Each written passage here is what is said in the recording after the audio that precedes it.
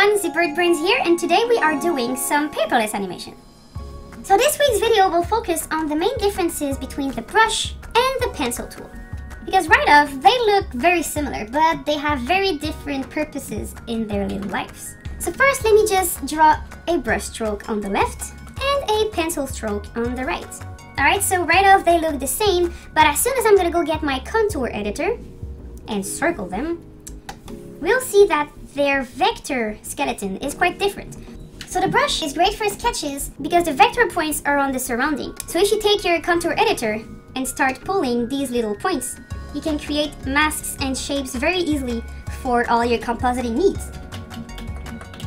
But what if I'm trying to make my line art with my brush and I want to bend that line a little? Uh, good luck bending a brush line. It's not, it's not made for that. It's gonna create some weird stuff.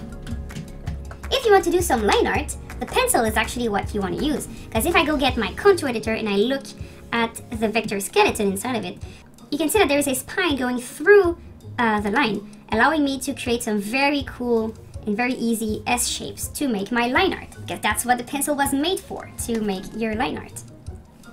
Alright, but what if I want to make a shape with this and I want to edit the contour? Uh, it's not possible. Not like the brush that allows you to make some very cool stuff. Another advantage of using the pencil line to clean instead of the brush is that once you drew a brush line, uh, what you draw is what you get. You cannot edit it. Well, you can kind of scale it, but that's, the, that's the only thing you can do. On the other hand, the pencil line, if you select it, you can change the size after you drew it. You can even change uh, how it looks. You can change the texture.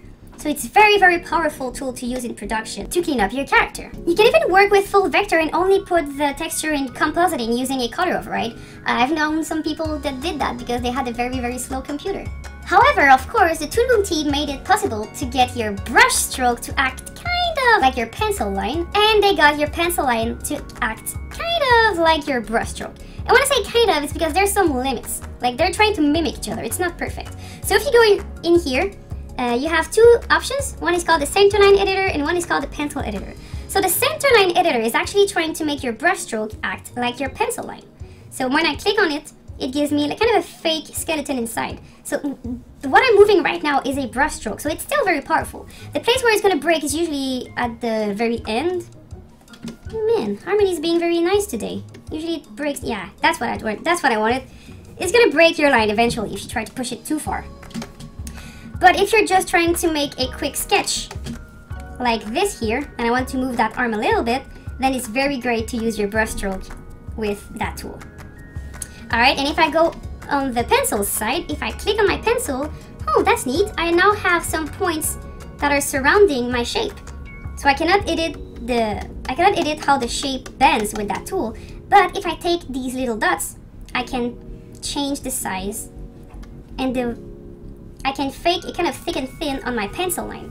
And what is very powerful with that is that if I go back to my contour editor and I move my line, it's gonna keep that same thick and thin look.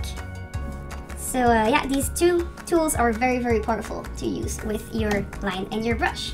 So concerning the center line editor, if you want to edit these points, it's exactly like you would do it with your contour editor. So as usual, if you select your dot, you have these little handles that appear. If you want to break your handle, press on Alt, if you want to snap them back together, make them talk face to face to each other and they're gonna be besties again. If you press on control, you can add more control points. And if you want to remove these control points, just nudge the line a little bit and it will be optimized. Now if we go to the pencil line with the pencil editor, if I press on Alt, I'll be able to edit these little handles and break them and if you want them to connect to each other you just need to put them face to face and they're gonna be besties again. And if you want to add more control points to your line you just press on control and you click. So the, the small thing with the pencil is that it will actually add one point on each side. This is because if you choose a point and you want to change the size it needs to be relative to both sides right? You can also click on the line between two lines to create some kind of bumps in it Sometimes it's useful. Who knows? Uh, last but not least, if you have multiple pencil lines and you want to only edit one line, you can click on it and then even if you select overboard, it will only select what you have now. If you want to edit both lines at the same time, you can just not select anything and just make a big circle and it will select points on both of them. Pretty useful if you want to affect the whole character, and pretty useful if you only want to have one part of the character. When it comes to textures, uh, I will start over. when it comes to textures, you can get you can take your brush, for example, and go here in the little triangle, and it's gonna pop up the little brush creation menu. Um, so I won't get too much into the details with that because they work like most of other software's uh, brush creation things. Uh, but in Harmony, if you use the vector brush, you, are, you can use the vector brush, or you can also go in brush type and get a textured vector, which is honestly one of my favorite feature of the whole software. It allows you to draw with a very painterly or like bitmappy style line while still being able to edit it just like you would with a vector. Of course, if you zoom in, it's still a bitmap. It's gonna look ugly. It's a line that looks like a bitmap, but that you can edit just like it was a vector. And the one little advice I would give if you're using textures, if you want to put paper texture on it, just be sure to go there and unclick the align. It's going to give you a way more random effect that is actually prettier. So just be sure to uncheck that. Unless, unless you want it to be aligned, but usually people like it better when it's more random. And when it comes to the pencil texture, you can just draw something here quickly. I'll place the texture after. And there I have a texture. If you want to move it, you can use the edit gradient texture option. And it should give you a little widget like that, that you can either make your texture smaller or wider. You can also move it around like this. So there's lots of stuff you can do with that little widget. If you want more info, I'll put a link to the documentation in my description. Last but not least, if you want to create a pencil that already has texture inside, you can apply the texture right there using these little uh, options. Of course, you can create your own texture for your brush and your pencil line, but that will be for another video. So with that, have a wonderful day, and I will see you next week for another short video about Harmony. So be smart, be creative, and keep exploring the software. You might find something very cool. See you soon!